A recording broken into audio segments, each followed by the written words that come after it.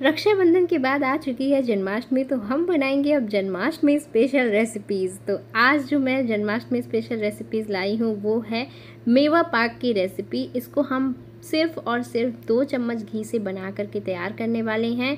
बहुत ही परफेक्ट आपका जो मेवा पाक है, वो बन करके तैयार होगा। बिल्कुल भी फेल नहीं होगा। फेल होने के कोई चांसेस ही नहीं है। बिल्कुल थाली की थाली आप निकालना चाहो ना तो उसे थाली की थाली निकल के आ जाएगी। इतना ज़्यादा बढ़िया बनेगा, एकदम खुसखुस बनेगा, जो खाने में मज़ेदार चीज़ होती है, उसका खुसखुसपन मतलब ऐसा चिपचिपा सा बिल्कुल नहीं बनने वाला, ऐसा नहीं होगा कि सेट नहीं हो। बहुत ही परफेक्ट तरीके से मैं आपको बताऊँगी कि किस तरह से आप घर पे मेवा पाक बना सकते हैं। ये जन्माष्टमी की एक बहुत ही ज़्यादा इंपॉर्टेंट रेसिपी है, ये तो बनता ही बनता है। तो चलिए इसे आज हम बनाते हैं और ये देखिए, मैं आपको इसे तोड़ के दिखाती हूँ कि अंदर से इसका टेक्सचर कितना अच्छा है। तो जैसे मैंने कहा ना, एकदम खुसखुस बन करके तैयार होगा, अंदर से सॉफ्ट रहेगा सेट रहेगा। तो चलिए शुरू करते हैं इस रेसिपी को बनाना। तो जिस भी बर्तन में आपने इसको सेट करना है ना तो यहाँ पे ये सबसे इंपॉर्टेंट काम है। ऐसा नहीं है कि बस ऐसे ही वीडियो बड़ा करने के लिए मैं दिखा रही हूँ आपको, नहीं। पहले ही आप इसे ग्रीस करके रख लेना, नहीं तो फिर टाइम नहीं मिलता है। अब आज मैं आपको बताऊँ, आधा नारियल से भी कम मैंने आज नारियल यूज़ किया है। पचास ग्राम भी नहीं होगा मुश्किल से ये नारियल। सिर्फ़ इस नारियल से मैं आपको बताऊँगी कि किस तरीके से आप जो है जो मेवा पाक है वो बना सकते हैं और इतना सारा बन करके तैयार हुआ था। तो पहले देखिए आपको इसे कद्दूकस करना है। इसके लिए आप डेसिकेटेड कोकोनट बिल्कुल भी यूज़ मत कीजिएगा थोड़ी सी मेहनत कीजिएगा और नारियल को कद्दूकस कीजिएगा। अब यहाँ पे घी हम लेंगे, सिर्फ़ टू टेबल स्पून जितना हम घी गर्म करेंगे और इसमें हम ड्राई फ्रूट डाल देंगे। तो यहाँ पर जो भी ड्राई फ्रूट ड्राई नट्स आप डालना चाहते हैं, आप डाल सकते हैं। तो मैंने यहाँ पर काजू, बादाम और किशमिश डाली हुई हैं। तो एक अंदाजे से आप यहाँ पर जो काजू, बादाम किशमिश है, उन्हें ले सकते हैं। तो जैसे मान लीजिए दस से बारह आपने काजू ले लिया या दस से बारह बादाम ले लिया, उस हिसाब से आप जो है तीनों चीज़ों को ले लीजिए। बिल्कुल धीमी आँच पर सबसे इंपॉर्टेंट चीज़ ड्राई फ्रूट को हमेशा बिल्कुल धीमी आँच पर रोस्ट कीजिए। इससे बढ़िया रोस्ट भी होते हैं और जलते भी नहीं हैं। तो यहाँ पर ड्राई फ्रूट हमने निकाल लिए हैं। इसके बाद ये हमने मस्क मेलन सीड्स डाला है एक तिहाई कप यानी कि खरबूजे के बीज। ये तो डलता ही डलता है तो यहाँ पर खरबूजे के बीज हमने जो है एक तिहाई कप डाल दिए हैं। अगर आपके पास नहीं है तो आप स्किप कर सकते हो आ, लेकिन नॉर्मली ये जो है डाला जाता है इसका टेस्ट भी अच्छा आता है और इंपॉर्टेंट भी है। अब ये जो हमने कद्दूकस किया हुआ नारियल रखा था, वो भी इसी के साथ में हम रोस्ट कर लेंगे। तो पहले आप बीज को थोड़ा सा रोस्ट कर लीजिए और इसके बाद नारियल भी डाल दीजिए। अब नारियल को थोड़ा सा रोस्ट होने में वक्त लगेगा तो तीन से चार मिनट के लिए आप इसमें इसको धीमी आँच पर रोस्ट कीजिए। साथ में मैंने इसमें डाल दिया है पॉपी सीड्स यानी कि पुस्ता दाना। तो टू टेबल स्पून जितना मैंने इसमें पुस्ता डाल, पुस्ता दाना डाल दिया है। तो अगर आपके पास पॉपी सीड्स है तो डालिए, नहीं तो स्किप कर सकते हैं। देखिए, इसमें जो जो इंग्रेडिएंट्स मैं आपको बताऊँ, जो भी डले हुए ड्राई नट्स वो आप स्किप कर सकते हैं, अपने अकॉर्डिंग बना सकते हैं। अगर थोड़ा कम ज़्यादा करना है तो वो भी कर सकते हैं। जैसे कि आप चाहो तो इस पूरी रेसिपी को सिर्फ़ कोकोनट से बना सकते हो। सिर्फ़ अगर आपके पास कोकोनट है और मखाने हैं तो आप उससे भी बना सकते हो। ठीक है? लेकिन जो मेवे पाक का असली मज़ा आता है कि आप इसमें कम से कम पाँच सात तरीके की ड्राई फ्रूट डालो, तब असली असली मज़ा आता है। और मुझे इसमें किसमिस का जो स्वाद है वो बहुत अच्छा लगता है। तो किसमिस अगर आपको पसंद हो कोई प्रॉब्लम नहीं है तो किशमिश ज़रूर डालिएगा।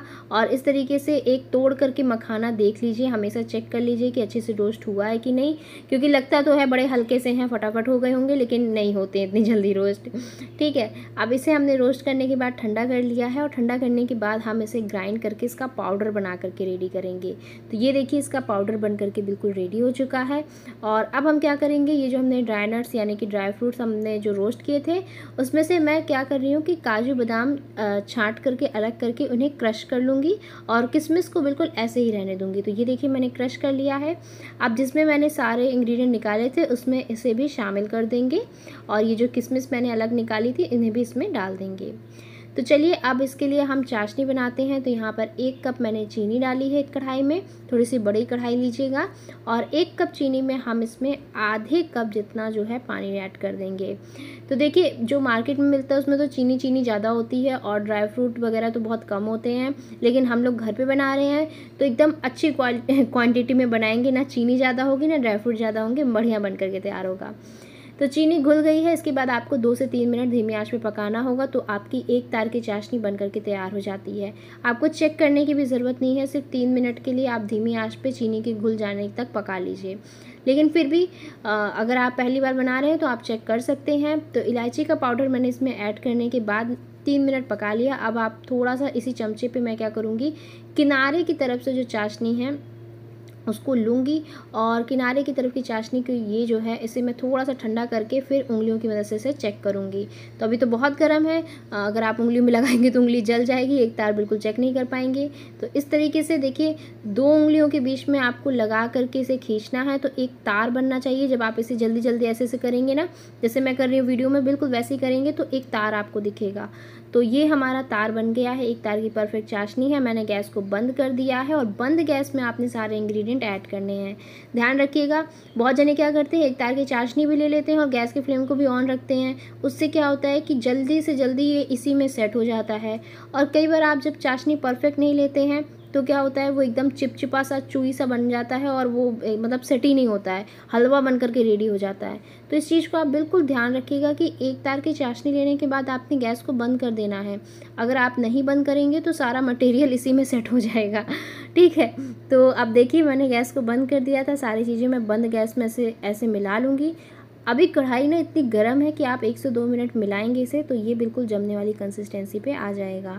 तो बस मैंने इसे प्रॉपरली अच्छे तरीके से मिला लिया है, एक से दो मिनट से ज़्यादा बिल्कुल नहीं चलाऊँगी। और बस ये देखिए, बहुत जल्दी से ये सेट होने लगेगा। बिल्कुल रेडी है। इसे आप फटाफट से हम डाल देंगे इस तरह से प्लेट में। तो इसीलिए हमें प्लेट को पहले से रेडी करके रखना होगा। और इसके बाद आप एक स्पैचला की मदद से या फिर एक छोटी चम्मच की मदद से इसे ऊपर से एकदम चिकना कर लीजिए फ्लैट कर लीजिए। और देखेंगे आप, बहुत ही बढ़िया आपका ये जो मेवा पाक है वो बन करके तैयार होगा। तो बस एक से दो बातों का ध्यान रखिएगा। बहुत ही कम घी में, कम इंग्रेडिएंट में आप मेवा पाक बना ले जाएँगे। कोई बहुत कठिन काम नहीं है, बहुत ईजी है। बस थोड़ा सा चाशनी का ध्यान रखिएगा। और जो जो बातें मैंने आपको वीडियो में बताई हैं, उसका ध्यान रखेंगे तो फटाफट से बन जाता है। अब इसे मैंने कट कर दिया है तो ये देखिए, अपने हिसाब से आप कट कर लीजिएगा। अच्छा एक बात मैं बता दूँ, पूरी तरह ठंडा होने के बाद मत सोचिएगा कि चलो, अब आराम से कटिंग कर लेते हैं। नहीं, ये नहीं करना है आपको, ठंडा ही नहीं होने देना है, बस सेट करना है और आपने कट के निशान लगा देने हैं, पूरा अंदर तक कट कर लेना है। नहीं तो फिर वो सेट हो जाएगा ना तो आराम से तो कटेगा, लेकिन वो पीसेस ऐसे टेढ़े मेढ़े कटेंगे, इतने परफेक्ट नहीं कटेंगे। अब कृष्ण जी को कोई भी भोग जो है हम नहीं लगा सकते बगैर तुलसी पत्ती चढ़ाए तो तुलसी पत्ती भी रख दीजिए। तो यहाँ पे पिस्ते की जगह मैंने तुलसी से ही गार्निश कर दिया है और आप ये देखिए, मेरे स्पेशलर से निकालने पे आपको समझ में आ रहा होगा कितने बढ़िया इसके पीस जो है निकल के आने वाले हैं। बहुत ही बढ़िया बना था, एक बार ये आप ज़रूर ट्राई कीजिएगा मेरे तरीके से। छोटी छोटी बातों को ध्यान में रखेंगे तो परफेक्ट बनेगा, बिगड़ने के कोई चांस नहीं है। इसके बावजूद अगर अगर अगर अगर आपका बिगड़ जाता है या कुछ भी उन्नीस बीस होता है तो आप मुझे कमेंट कर सकते हैं या फिर अगर आपको फटाफट से रिप्लाई चाहिए तो आप मुझे इंस्टाग्राम पे डीएम कर सकते हैं। इंस्टाग्राम आईडी आपको डिस्क्रिप्शन बॉक्स में मिल जाएगी। मिलते हैं इसी तरीके की नेक्स्ट